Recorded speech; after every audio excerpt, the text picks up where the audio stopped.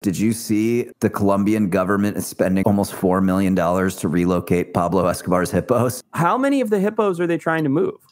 Are 70. 70, but there's Yeah. 110.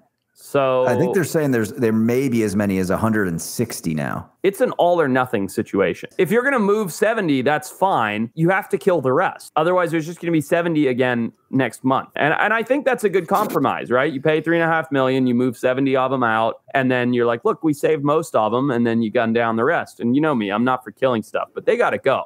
They're causing big problems down there. And the growth rate is just exploding. Apparently, the 70 they're relocating, 10 are going to Mexico. I'm assuming that's zoos. Yeah, it's all zoos for and then sure. 60, okay, 60 are going to India. That's an insane amount of hippo. That's 200,000 pounds of hippo that they're relocating. That's a lot of hippo.